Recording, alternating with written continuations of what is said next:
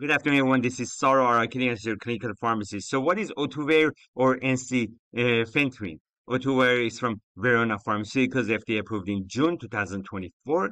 Ohtuvayre is a phosphodiesterase 3 PDE3 inhibitor and phosphodiesterase 4 PDE4 inhibitor indicated for the maintenance treatment of chronic obst uh, obstructive pulmonary disease or COPD in adults.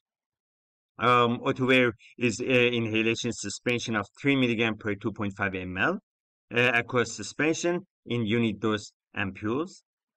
Recommended dose is 3 mg twice daily, administered by oral inhalation uh, using a standard jet nebulizer. Uh, some of the common side effects of Ohtuvayre includes uh, hypertension, UTI, and diarrhea.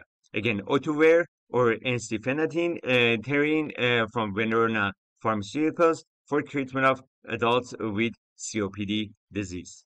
For more detailed information on this drug, refer back to the package insert, which will give you more information on the dosing, cautions, precautions on this drug.